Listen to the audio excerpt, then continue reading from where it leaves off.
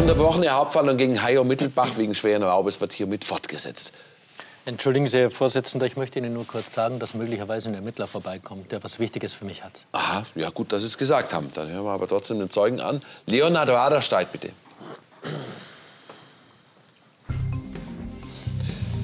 Guten Tag, Herr Raderscheid. Guten Tag.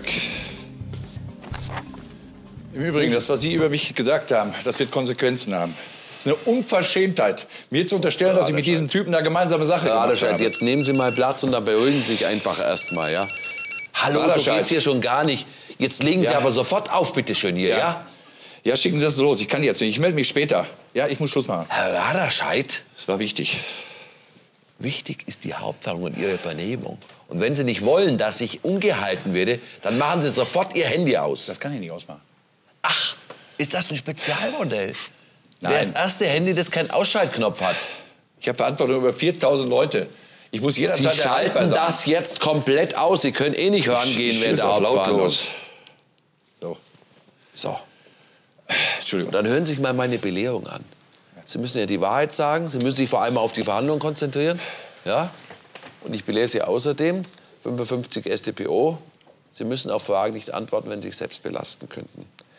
Sie heißen Leonhard Aderscheid, 57 Jahre alt. Sie wohnen in Köln, verwitwet, Inhaber einer Kaufhauskette, verwandt, verschwägert mit dem Angeklagten. Nein, Gott sei Dank noch nicht. Aber bald wäre es ja passiert. Deine Sprüche immer. Ja, Sie wissen, worum es geht. Dem Angeklagten wird vorgeworfen, er soll am 19. Januar 2010 ins Haus von Herrn Ebert eingedrungen sein, ihn dort überfallen haben, weil er in dem Haus Geld vermutete. Ja, ich habe schon davon gehört, was Hayo sich diesmal wieder geleistet hat. Normalerweise fällt er eigentlich nur durch ein merkwürdiges Benehmen auf. Aber dass er noch kriminell ist, das wusste ich nicht. Hatten Sie denn am Tatabend Kontakt zu Herrn Mittelbach? Ja, ich kam von einer Aufsichtsratssitzung wieder so um 22 Uhr und dann, ich glaube um 22.30 Uhr habe ich mit ihm telefoniert. Aber er war sehr nervös. Ich meine, Hayo ist eh kein taffer Typ und meistens neben der Spur. Aber der war so nervös, so nervös ist man eigentlich nur, wenn man was verbrochen hat. Um was ging es denn bei dem Telefonat? Ach, um die Organisation zwischen äh, meiner Tochter und ihm. Hayo hatte sich bei mir beschwert, dass wir, ihn, äh, dass wir ihn in die Hochzeitsplanung nicht einbeziehen. Deswegen habe ich ihm 50.000 Euro überwiesen, damit er die Hochzeit planen kann. Jetzt müssen Sie mir was erklären. Es kam ja schon zum Ausdruck, dass Sie gegen diese Hochzeit sind oder waren. Ja? Und trotzdem geben Sie ihm 50.000 Euro, stattliche Summe finde ich nebenbei, damit er die Hochzeit organisieren kann. Ja, ohne überheblich klingen zu wollen, aber 50.000 Euro sind für mich Peanuts.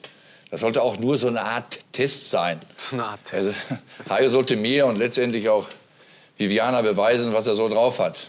Und das wollte ich an diesem Abend von ihm wissen, wie weit er mit der Organisation ist, wie die Hochzeit geplant ist. Aber äh, ja, Was hat er denn geantwortet? ja eigentlich, eigentlich gar nichts. Der war verstört. Ich habe das Gespräch dann auch beendet, weil da kam nichts rüber bei ihm. Mir war eigentlich vor diesem Gespräch schon klar, dass der Junge nichts zustande kriegt. Was will man auch von einem Versicherungskaufmann oder anders verlangen? Ich sag dir eins, ja? Die Hochzeit findet statt, ich heirate deine Tochter und du kannst dagegen gar nichts machen. Niente null. Die Hochzeit wird mit Sicherheit nicht stattfinden und ich wäre sehr dankbar, wenn du mir die 50.000 Euro mal zurückgeben würdest. Die 50.000 Euro brauche ich für die Hochzeit mit deiner Tochter, falls du das vergessen hast, oder? Die gebe ich dir nicht zurück. Für welche Hochzeit? Du wirst wahrscheinlich für Jahre hinter Gittern verschwinden, da bin ich froh drüber. Papa, bitte. Also Sie halten nicht viel vom Angeklagten. So viel ist ja nun wirklich klar geworden, oder? Ja, genau, wie, wie denn auch? Der kann doch meine Tochter gar nicht ernähren. Das, das ist gut. das habe ich Ihnen auch klar und deutlich zum Ausdruck gebracht in einem Gespräch. Und ich glaube, auch deswegen hat er diesen Ebert da überfallen. Das heißt, Sie meinen, dass er sein Geld wollte, um Ihre Tochter zu beeindrucken? Ja, weil ich ganz eindeutig gesagt habe, ich habe ihm zwar diese 50.000 Euro überwiesen, aber ich wollte eine genaue, detaillierte Aufstellung haben, was er mit diesem Geld gemacht hat. Das Geschenk für meine Tochter, das habe ich von ihm erwartet, dass es äh, aus seiner eigenen Tasche kommt. Ganz anderes Thema, Herr Raderscheid. Der Herr Ebert, der hat vorhin ausgesagt, dass er sich ganz sicher ist, dass die Waffe, mit der er bedroht worden ist, eine silberfarbene Walter PP gewesen sei. Ja, das kann nur die aus meinem Waffenschrank sein. Die wird sich Hajo geholt haben, weil er wusste, dass ich den Schlüssel in einer kleinen Truhe im Schlafzimmer aufbewahre. Herr Raderscheid, ein Mann wie Sie geht doch sicher nicht so leichtsinnig mit seinen Waffen um. Und ich kann mir dreimal nicht vorstellen, dass Sie eine solch brisante Information jemandem wie meine Mandanten gegeben haben, den Sie offensichtlich nicht leiden können. Ja, natürlich nicht. Der muss das irgendwie mitbekommen haben. Weil äh, in der Penthouse-Wohnung meiner Tochter liegt auch der Schlüssel für mein Haus. Und äh, Hajo wusste an diesem Tage genau Bescheid, dass ich zwischen 16 und 22 Uhr gar nicht im Haus bin, weil ich eine Aufsichtsratssitzung hatte. Der muss sich die Pistole geholt haben und hat auch genügend Zeit, die wieder zurückzulegen. Also ich glaube sehr viel eher, dass mein Mandant das Opfer einer Intrige ist. Jetzt Auch wenn Sie- Sie das nicht hören wollen, Herr Raderscheid. Herr Ritzemann, jetzt fangen Sie schon wieder damit an, dass ich mit den Herrn Ebert gemeinsam, äh, gemeinsame Sache gemacht habe. Das ist doch lächerlich. Genau, das würde aber einen Sinn ergeben. Sehen Sie doch endlich ein, dass Heiko eine absolute Niete ist. Er ist ja zu, sogar noch zu dumm, Hey. einen Überfall zu starten. Verdammt nochmal, ich hab's nicht getan, ich hab nichts gemacht. Kapier's doch endlich, Mann. Viviane hat sowieso was Besseres verdient als dich. Du warst ewig und immer nur hinter unserem Geld her. Ach, du willst doch nur wieder, dass dieser komische Ex-Freund zu deiner Tochter zurückkommt, oder? Carsten war im Gegensatz zu dir wenigstens ein richtiger Kerl und nicht so ein Weichei wie du. Papa, bitte. Aber als ich mit Carsten zusammen war, da konntest du ihn auch überhaupt nicht leiden. Und jetzt tust du auf einmal so, als wäre er dein Traumschwiegersohn gewesen. Schatz, Carsten war im Gegensatz zu Hajo eine Rakete. Da sind wir wieder bei meiner Vermutung, dass Sie meinem Mandanten diese ganze Sache nur anhängen wollen, um eine Trennung zwischen ihm und Ihrer Tochter herbeizuführen. Ach, das ist doch Quatsch. Sind Sie der Ermittler? Herr Seeloff, was gibt's denn? Entschuldigung, Herr Vorsitzender, das ist der Ermittler, der vorhin schon von Herrn Verteidiger angekündigt wurde. Ja, bitte.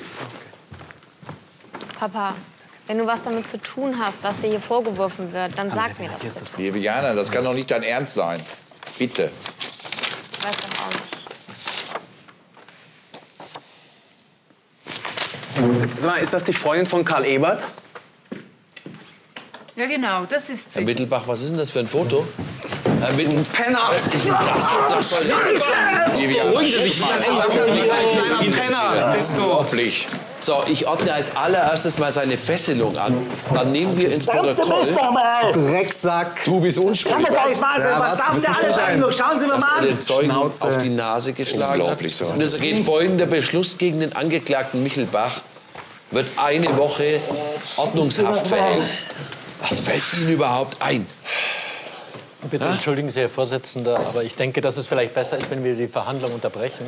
Ich würde mich gerne ein bisschen mit meinem Mandanten unterhalten. Das sollten Sie unbedingt. Und ich möchte, dass der Herr Ebert ärztlich untersucht wird. Herr Seeloff, können Sie das bitte in die Wege leiten? Ja. Ja, dann geht folgender Beschluss. Die Hauptverhandlung wird für eine Stunde unterbrochen. Kommen Sie mal mit mir. Herr Ebert, es Wir wird jemand um Sie. sich um Sie Sie medizinisch kümmern.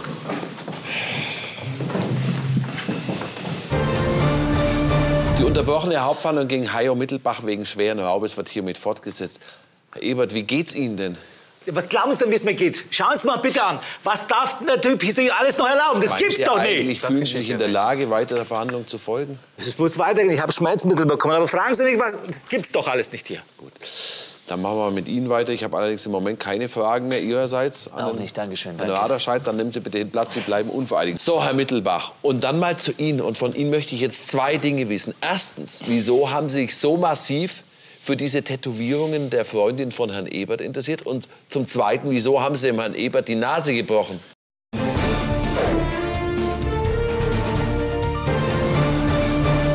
Herr Vorsitzender, das ist alles etwas komplizierter. Es ist nun doch so, dass mein Mandant die angeklagte Tat einräumen möchte. Wusste ich's doch. Lassen Sie ihn erst doch mal reden überhaupt. Mein Mandant gibt zu, Herrn Ebert überfallen zu haben und mit der Waffe von Herrn Raderscheid bedroht zu haben. Allerdings wollte er nur das Geld, das der Herr Ebert zuvor von ihm erpresst hatte. Aha. Geht das auch ein bisschen genauer? Ich kann Ihnen auch nicht mehr sagen. Ich kann Ihnen nur sagen, dass draußen eine Zeugin wartet, die das alles erklären kann. Das ist nämlich die Freundin von Herrn Ebert, Frau Stefanie Holbein. Herr Mittelbach, wollen Sie uns nicht selbst sagen, um was für eine Erpressung es da gehen soll? Also ohne die St- Stefanie Holbein sage ich hier schon mal gar nichts. Wer ist diese Frau? Und die ist da. Na gut, wenn sie da ist, dann hören wir mal an. Tageslicht, Schatz. Stefanie Holbein, bitte.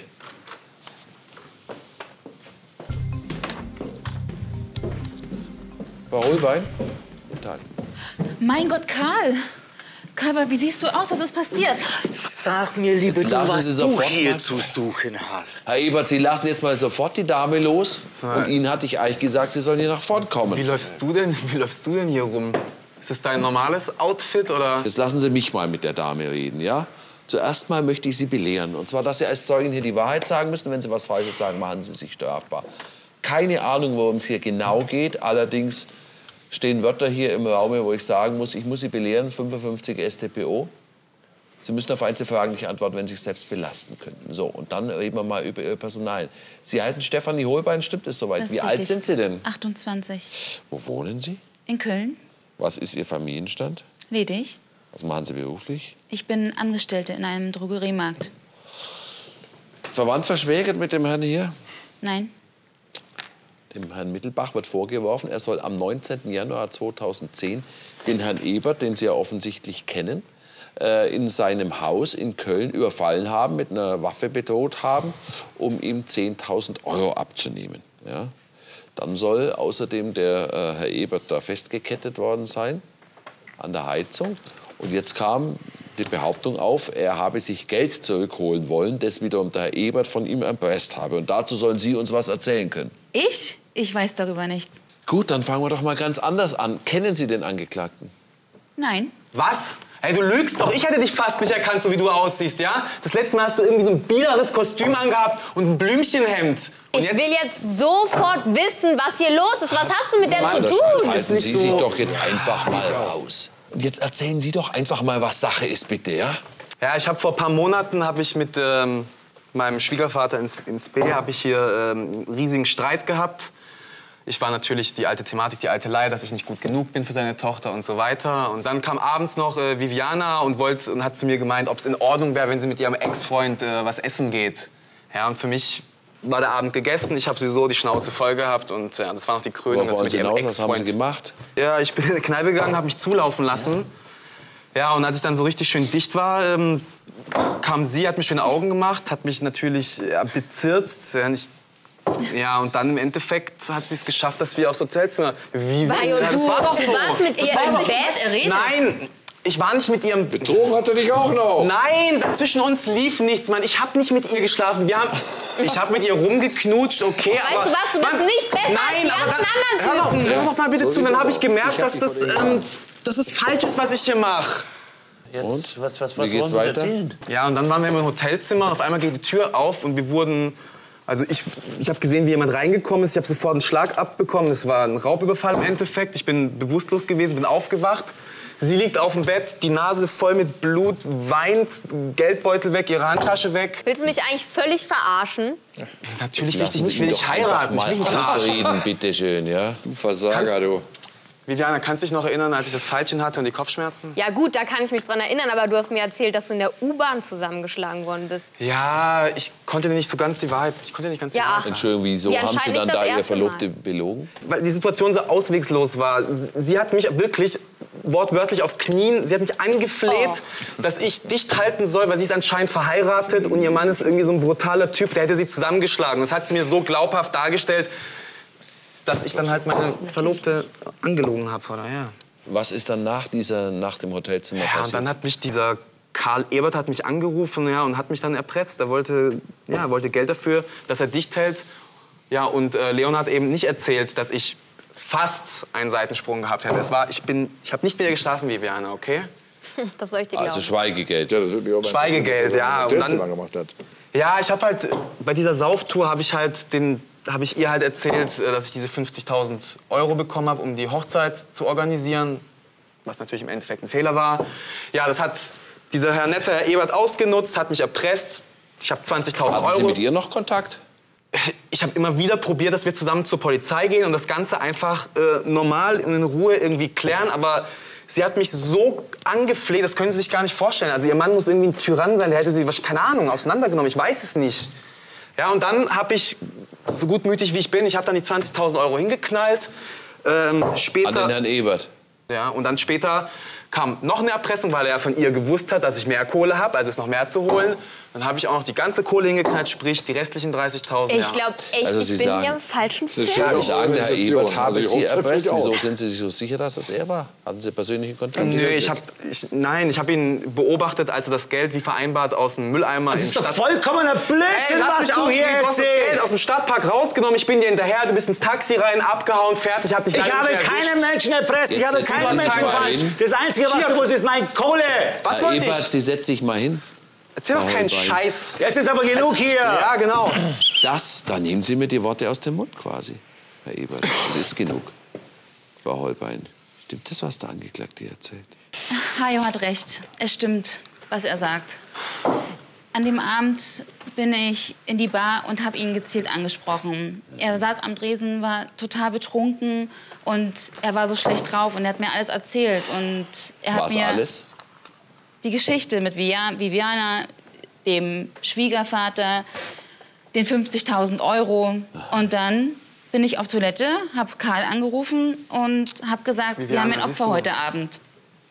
Und dann sind Sie zu meinem Mandanten zurück und haben ihn weiter abgefüllt, oder? Ja, richtig. Und es war auch nicht schwer. Ich habe ihn dann dazu überredet, mit mir aufs Hotelzimmer zu gehen. Und Tja, bin ich später ins K gekommen, hat, hat ihn überwältigt. Er war bewu- bewusstlos. Ja, aber du hast doch- und, und dann hat er das Geld genommen und, und ist verschwunden. Ja, aber du hast doch auch, dein Gesicht war doch voller Blut. Das war Kunstblut. Sie haben gerade eben gesagt, Sie haben angerufen bei Herrn Ebert und haben gefragt und haben gesagt, wir haben ein Opfer für heute Abend, heißt es? Dass es eigentlich nicht das einzige Mal war, dass Sie nach der Masche vorgegangen sind? Nein, nein, war das nicht. Wir, wir haben diese Show ein paar Mal abgezogen, eigentlich ständig. Immer wenn wir gemerkt haben, dass bei jemandem was zu holen war.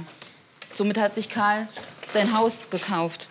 Glauben Sie der Frau kein einziges Wort mehr.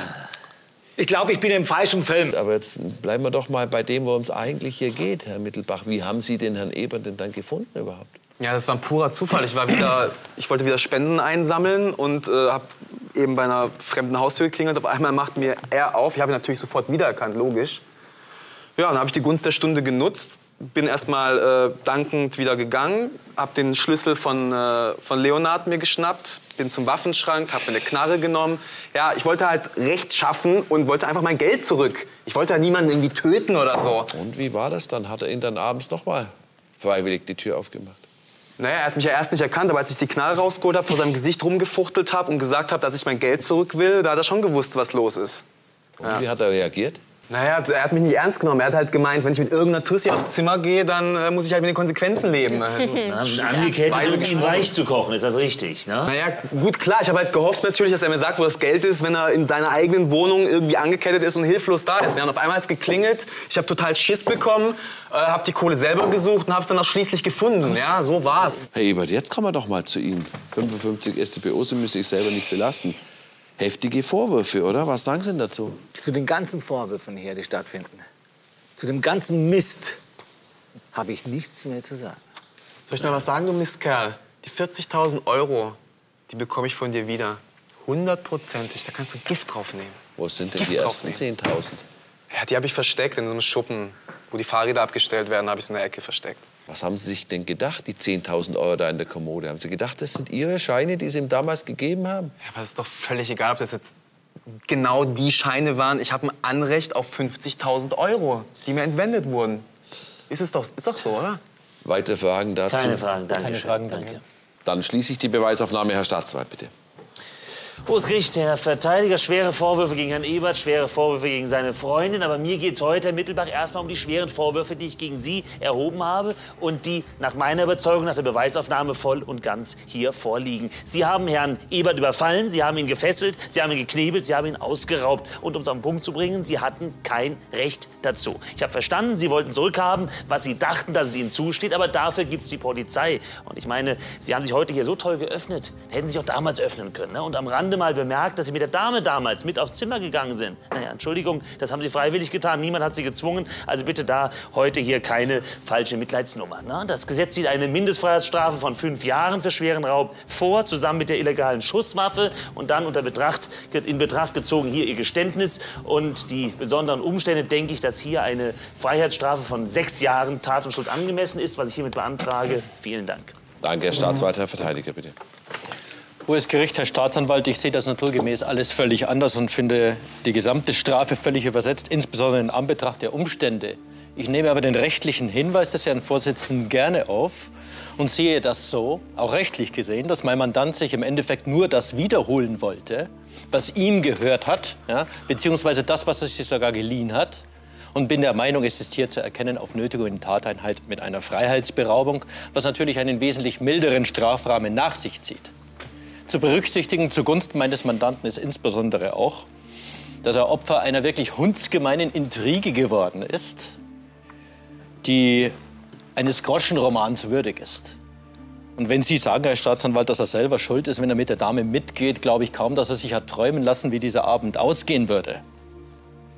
Insofern bin ich der Auffassung, dass all das keinen Platz greifen kann, was ihm hier vorgeworfen wird. Natürlich hätte er sich besser der Polizei bedient, als das selber zu machen. Aber es ist mit einem normalen Hergang des Raubes mit Sicherheit nicht vergleichbar. Ich beantrage deshalb für meine Mandanten eine kurzzeitige Freiheitsstrafe von sechs Monaten, die selbstverständlich zur Bewährung auszusetzen sind. Vielen Dank. Danke, Herr Verteidiger. Herr Mittelbach, Sie haben beide Anträge nun gehört. Sie können sich selbst auch noch verteidigen. Sie haben das letzte Wort. Herr Viviana, ich möchte ja eigentlich, eigentlich nur sagen, dass ich dich wahnsinnig liebe, dass es mir leid tut. Und ich möchte weiterhin daran festhalten, dich zu heiraten. Dann zieht sich die Kammer zur Urteilsberatung zurück. Im Namen des Volkes verkündigt folgendes Urteil. Der Angeklagte Hajo Mittelbach beschuldigt der Nötigung in Tateinheit mit Freiheitsberaubung, Hausfriedensbruch und mit unerlaubtem Führen einer Schusswaffe, Paragraphen 123 Absatz 1 und 2, 239 Absatz 1, 240 Absatz 1, 2 und 3, 52 Strafgesetzbuch und 52 Absatz 1 Nummer 2b Waffengesetz. Wird deshalb zu einer Freiheitsstrafe von zwei Jahren und neun Monaten sowie zu den Kosten des Verfahrens verurteilt. Nehmen Sie bitte Platz. Es ergeht der Beschluss der Haftbefehl des Amtsgerichts Köln vom 20. Januar 2010 bleibt aufrechterhalten und in Vollzug. So freudestrahlend, wie Sie hier am Ende noch Ihrer Ex-Verlobten eine Liebeserklärung machen und das Heiratsversprechen erneuern, muss man fast annehmen, dass Sie sich des Ernstes der Lage, ja, ich würde sagen, überhaupt des Ernstes des Lebens überhaupt nicht bewusst sind. Minuten vorher hat der Herr Staatsanwalt sechs Jahre Freiheitsstrafe für Sie beantragt. Und ich sage Ihnen, wenn man hier zum Ergebnis kommt, das war ein Raub, dann ist das exakt Tat und Schuld angemessen. Wenn man es objektiv betrachtet, objektiv ist das ein Raub. Denn Sie hatten eigentlich keinen Anspruch, genau diese Scheine zu bekommen. Das waren ja nicht Ihre, höchstwahrscheinlich. Sie haben überhaupt nicht einen Anspruch darauf, dass Sie auswählen, welches Geld er Ihnen gibt. Das ist immer noch Sache des Schuldners, zu sagen, ich gebe dir einen Scheck, ich überweise es, ich gebe dir diese Scheine oder jene Scheine. Das ist eigentlich jedem klar. Trotzdem sagt der BGH, rein subjektiv wird es oft äh, am Bewusstsein der Rechtswidrigkeit fehlen, wenn man einen einredefreien Anspruch hat. Und den hatten sie ja. Sie hatten den Anspruch, dass sie das Geld aus der Erpressung zurückbekommen. Ja? Also, das heißt nichts anderes. Wir müssen zu ihren Gunsten annehmen, dass sie nicht davon ausgegangen sind, dass das Zurückholen des Geldes rechtswidrig ist. Und einen fahrlässigen Raub gibt es nicht. Aber natürlich war ihnen klar, dass sie es nicht mit Gewalt zurückholen dürfen. Natürlich war ihnen klar, dass sie ihn dazu nicht anketten dürfen. Und natürlich war ihnen klar, dass sie nicht einfach so ins Haus rein dürfen mit der Knarre in der Hand. Und überhaupt, dass sie da noch mal bei ihrem Ex-Fast-Schwiegervater einbrechen und sich eine scharfe Waffe holen und mit einer scharfen Waffe losziehen, um sich das Geld zu holen. Das ist das Verwerfliche an der ganzen Geschichte und das zeigt auch, dass sie eine ganz massive Gewaltbereitschaft haben, die sie übrigens heute, man muss den Herrn Ebert nur anschauen, auch noch mal unter Beweis gestellt haben. Und das ist auch der Grund dafür, das sind ja nahezu mafiöse Methoden, die sie da angewandt haben, um ihr Geld einzutreiben, warum hier keinesfalls eine Freiheitsstrafe in Betracht kommt, die noch zur Bewährung ausgesetzt werden kann. Wegen der gebrochenen Nase, muss ich Ihnen leider sagen, wird auf das Ganze in einem neuen Verfahren sicherlich noch eine Kleinigkeit draufgesattelt werden. Gegen das Urteil können Sie innerhalb einer Woche Revision einlegen. Ihr Verteidiger wird Sie beraten. Der Herr Staatsanwalt könnte das allerdings auch. Und wenn Sie jetzt mal Ihr Tagträumer-Dasein aufgeben und ein bisschen Realist werden, dann werden Sie auch erkennen, dass es mit Ihrer Ex-Verlobten mit Sicherheit nichts mehr wird. Schon gar nicht nach einer längeren Haftstrafe. Wenn Sie dann noch mal versuchen, bei ihr zu landen, dann laufen Sie Gefahr, dass der freundliche Aufpasser da hinten Ihnen eine ähnliche Gesichtsdeko ins Gesicht zaubern wird, wie Sie heute dem Herrn Ebert. Für heute ist die Hauptverhandlung geschlossen. Frau Hohlbein, Herr Ebert, Sie sind beide vorläufig festgenommen. Es besteht der dringende Tatverdacht der Erpressung, der dringende Tatverdacht des Raubes und der gefährlichen Körperverletzung in Mittäterschaft. Wegen der hohen Straferwartung steht Fruchtgefahr. Das, ist doch, Sie nehmen bitte das, beide kann, mit. das kann doch nicht wahr sein. Hallo, schauen Sie sich mal an hier. Ich diskutiere. Er, er ist doch derjenige. Hallo, er ist derjenige. Ebert. Doch nicht ich, verdammt noch mal jetzt. Er ist derjenige, doch nicht ich. Karl Ebert wurde wegen Raubes, gefährlicher Körperverletzung und Erpressung in acht jeweils in Mittäterschaft begangenen Fällen sowie wegen uneidlicher Falschaussage zu einer Gesamtfreiheitsstrafe von sieben Jahren verurteilt. Hajo Mittelbach wurde wegen vorsätzlicher Körperverletzung unter Einbeziehung des heutigen Urteils zu einer Gesamtfreiheitsstrafe von drei Jahren verurteilt. Stefanie Holbein wurde wegen Raubes, gefährlicher Körperverletzung und Erpressung in acht jeweils in Mittäterschaft begangenen Fällen zu einer Gesamtfreiheitsstrafe von drei Jahren und vier Monaten verurteilt.